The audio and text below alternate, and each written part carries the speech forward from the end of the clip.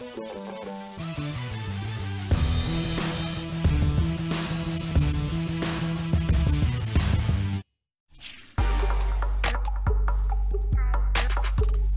want to win, and um, you know one of one of our goals, um, and we've talked with our staff already, is uh, I want to win championships. Uh, I want to bring championships back to York Nine, or back to the region, um, and that's that's our goal as a club is is to play a, a good brand of football and be successful by winning.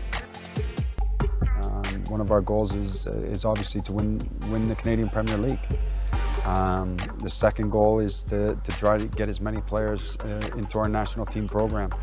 Um, that would be a goal for our club to, to one day see a number of York 9 players representing Canada.